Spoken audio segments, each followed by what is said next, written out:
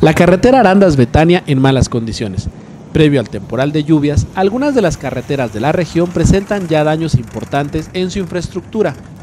En el caso de Arandas, la carretera Arandas-Betania, que conecta el municipio con la zona ciénega del estado a través del municipio de Ayotlán, se encuentra en malas condiciones y presenta baches muy profundos que aseguran los vecinos ya han causado ponchaduras de llantas y daños en vehículos que circulan por la zona.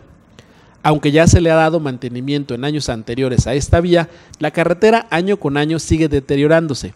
Esta vía de comunicación es responsabilidad del gobierno del estado y dada la circulación que ha aumentado en esta vía de comunicación, es importante que las autoridades den mantenimiento a esta carretera previo al temporal de lluvias, ya que de no hacerse, esta situación se agravaría de manera importante durante esta época.